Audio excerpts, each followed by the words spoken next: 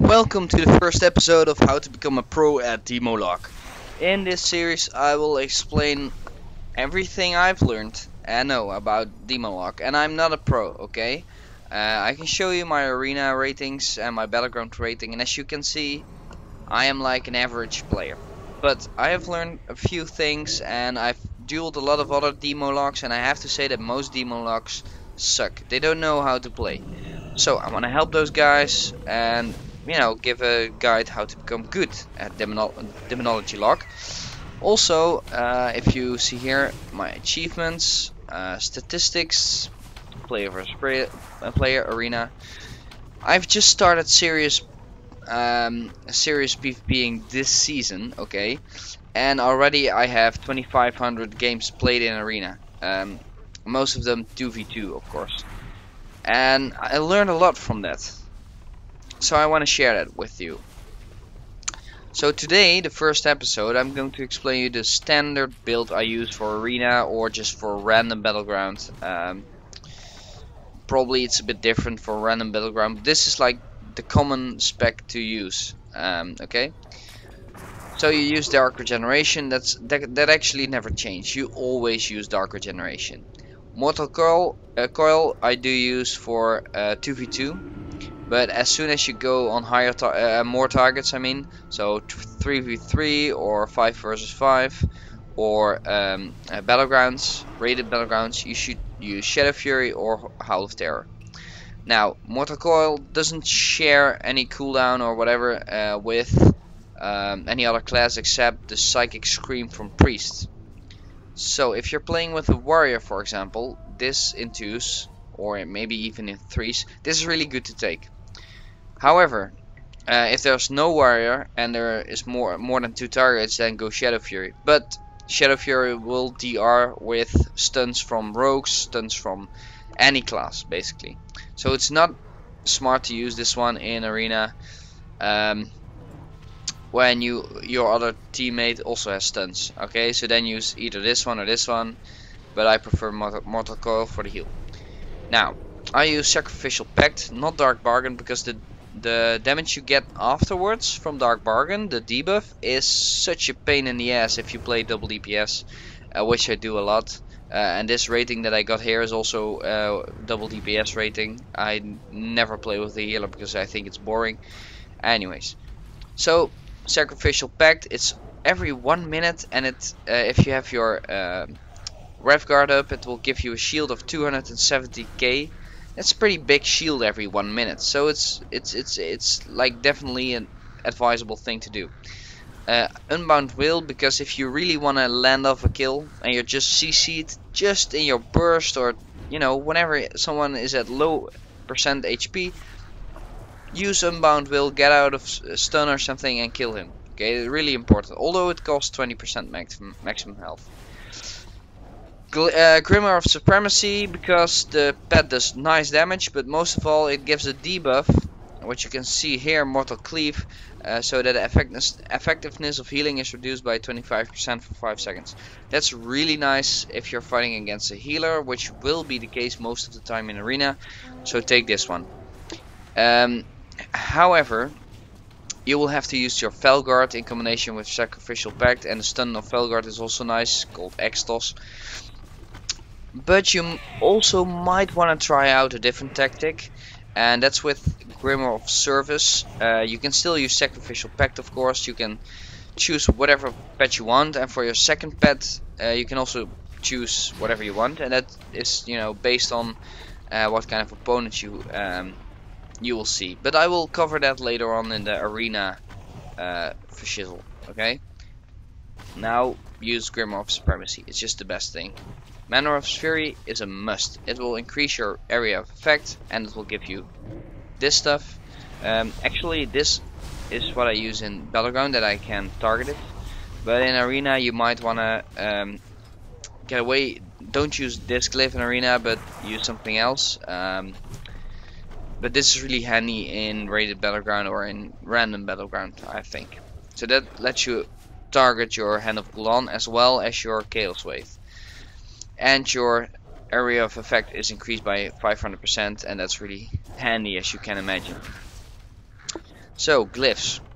Demon training because it increases your Felguard's health, which also increases your shield of course. And the other things that it gives uh, you if you use a different pet is also good. Uh, Healthstone is a must have, I'm not even going to explain that, you should know why. And Glyph of Imps is just, um, yeah, also, I also think I don't need an explanation. For the minor glyphs, Glyph Meteor, Falling Meteor, it's really nice. If you play random Battleground, also use Nightmare uh, instead of this one, but this is just very cool. Okay, what this does, it lets you, uh, your pet apply or equip two different weapons, and I think this is really, really cool.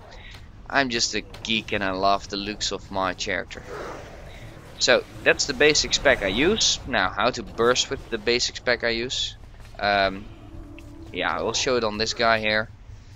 So I have a macro here and you can also copy that from me. Uh, I will show you it, it to you. Macro. Uh, where is it? Where is it? Oh, Uber. Yeah, this is it. Okay, pet attack. So if I click this once, my pet will attack, and then it, you get a cast sequence. And uh, uh, to reset, you just switch target. Okay. Okay. It will apply corruption, curse of elements, one hand of Gul'dan.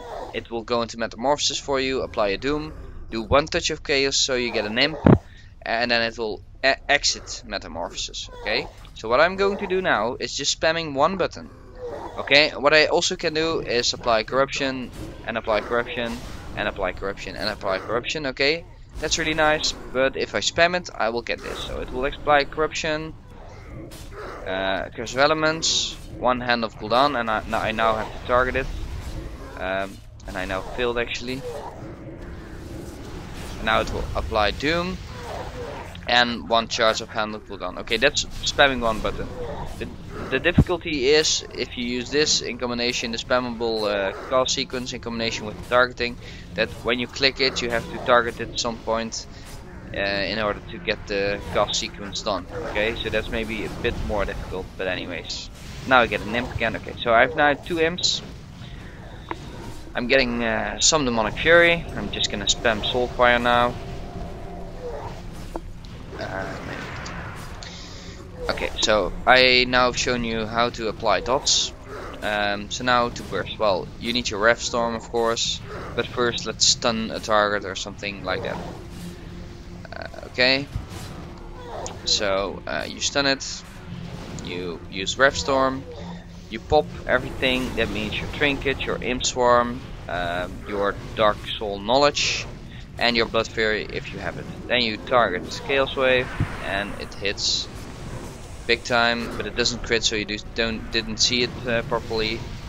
Okay, then you just spam Soulfire, but it's maybe even more nice to spam uh, Touch of Chaos, which will hit a lot if it crits. Um, actually, it doesn't show the crits now. It's but it's much higher actually normally. Okay, so that's uh, like the most basic way to do burst. Just pop everything. I can also show you the macro I use for the burst, um, which is this one. Grimoire of Sacrifice is in it, but it's only when I use it and it won't affect the whole macro if you spec something else. So I just leave it there. Cast Unending Resolve, this is because you then won't be interrupted. Uh, where can I show you it? Yeah, here. The Warlock hardens his skin reducing all damage, preventing his spells from being interrupted or silenced for 8 seconds. Is a nice thing to do in your burst. Blood Fury, Racial, Dark Soul Knowledge, uh, knowledge, yeah, the Trinket, Imp Swarm, and Metamorphosis. Really simple, really basic, and that's basically your one-shot macro. If you pop it, you will do a lot of damage. Yeah, is there anything more I need to explain? For the basic guide, I think this is just...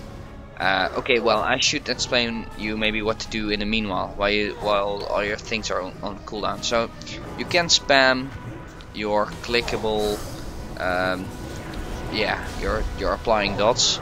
Uh, for the most time you will also be spamming Flame, not Shadow Bolt, Flame, and that's because Flame, although it costs a lot of mana, Flame is an instant cast. Only the global cooldown will affect your, uh, your cast time, you could say, and uh, it's just really nice. Whenever you get the proc Molten Core, you just uh, go for the the Soulfire if you can cast it.